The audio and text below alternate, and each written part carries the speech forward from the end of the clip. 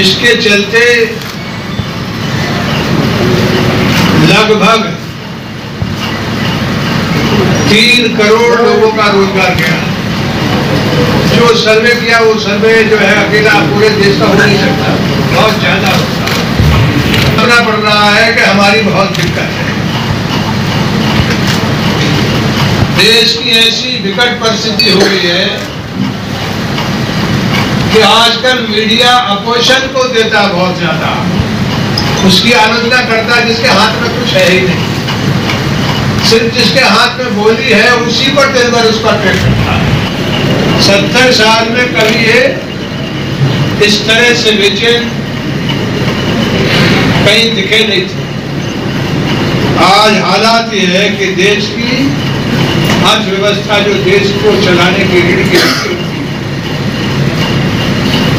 हाल इतना, मैं कह रहा हूँ कि हर सरकार का काम है कि किसी तरह की बात जो है, जो वो धंधा हो, व्यापार हो, कानून व्यवस्था हो, अब ये आपका उत्तर प्रदेश गजब प्रदेश भाई। पहले मॉब चल रहा अब जो है वो बच्चे के नाम पर लोग मर जा रहे और एक एक तरह से अधूरा आदमी को पंगू बनाते कहते पैर में। जब आया हूँ तो जैसे एयरपोर्ट पर उतरा तो पाँच आदमी मुझसे मिले। तो पैर में बोरा बाँध देते हैं, कपड़ा बाँध देते हैं, फिर उसको मारते